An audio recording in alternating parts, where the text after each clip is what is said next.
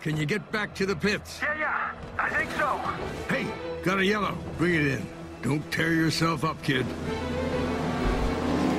We gotta get him back up there fast, or we're gonna be a lap down and we'll never win this race!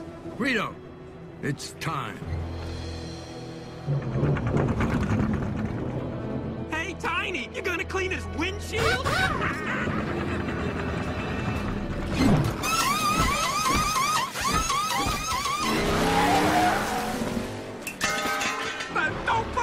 was the fastest pit stop I've ever seen. It was a great stop, but he's still gotta beat that pace car out. It's gonna be close.